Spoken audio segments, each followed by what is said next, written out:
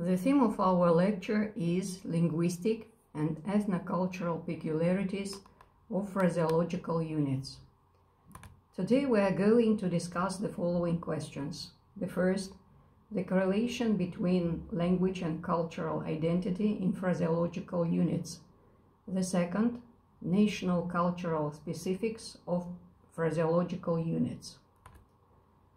The end of the 20th and the beginning of the 21st century are characterized by the establishing of anthropocentric paradigm or in linguistic.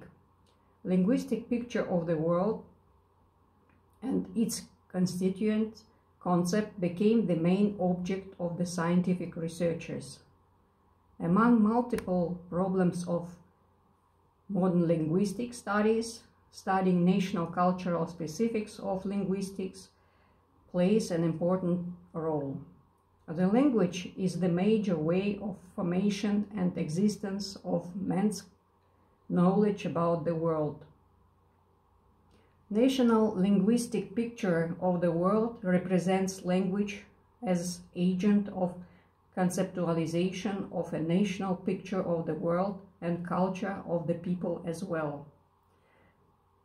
Consequently, when studying national picture of the world, the scientists concentrate attention on language units, especially phraseological units, which are carriers of national culture.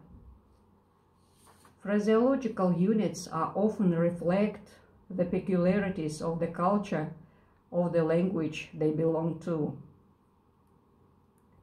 Moreover, they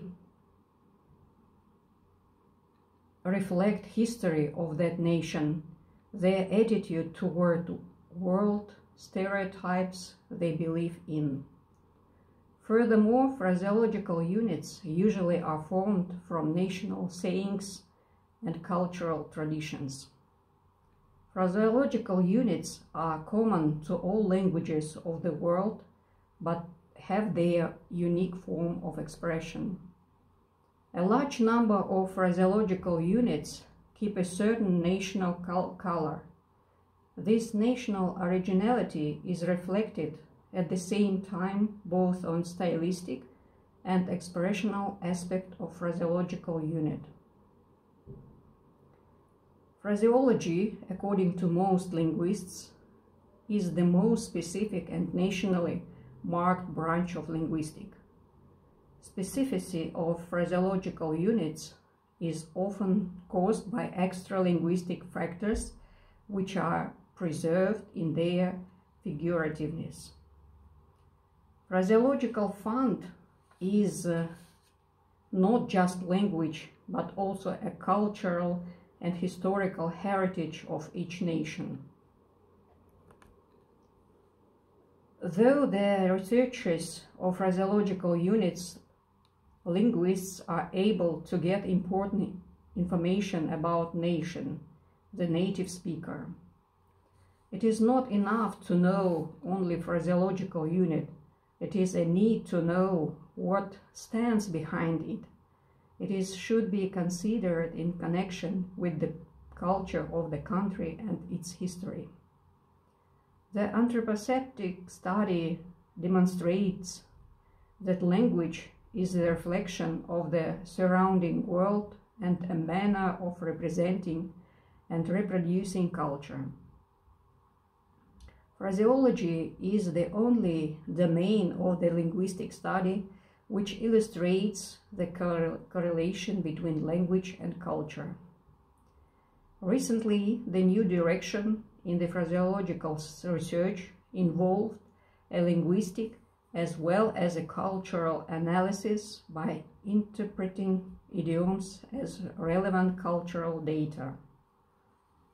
The worldview of all the members of the linguistic and cultural community imposes the generation and the understanding of metaphorical meanings through the subconscious process of perception.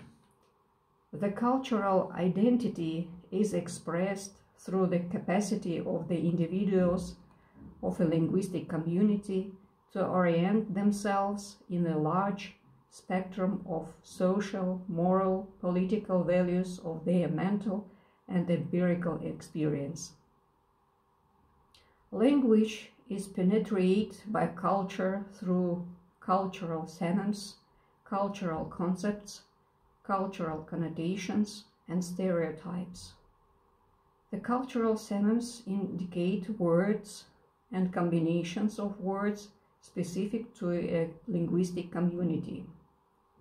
The cultural concepts are abstractions forming the worldview in a culturally particular manner. The cultural concepts may coincide in all languages, but in some aspects of their meanings, words and phraseological units, which are similar in various languages, show a relevant degree of specificity. The process through which the culture inform information is inserted into language is illustrated in phraseological units. We can exemplify the cultural specificity of language units by analyzing a number of English and Russian idioms. Some of the idioms are common to the two languages that they were generated by the same factors of logical and psychological nature, or they were borrowed from common sources, cutting their way into language, most often though uh, through similar channels, and a series of idioms specific to the English language or to the Russian one. The common idioms at the beginning were free constructions of words which an objective communication function expressing sequences from the day life of main professional categories. For example, uh, the human body became an inspiring source for many of the idioms from both languages. For example, the poke uh, to poke one's nose into. It means совать свой нос в чужие дела. To kill the goose that lay the golden eggs. Убить курицу, несущую золотые яйца. If for Russians the hen, курица, is the one laying the golden eggs, in the English case, the goose is the domestic bird valuable to this extent. To work like a bear, работать как вол. If the Russian maker prolongs and affirms that he works like an ox, вол, the Englishman does not emphasize the sustained activity and resigned, patient but rather the strengths by comparing himself to the bear. The next examples are the specific idioms. If you focus on specific idioms to the Russian or the English language, they are structures, structured on traditions, social and political aspects, cultural values, and unique for the identity of the two cultures. For example, to carry coal to Newcastle, ехать в Тулу со своим самоваром. A peeping Tom, любопытная Варвара.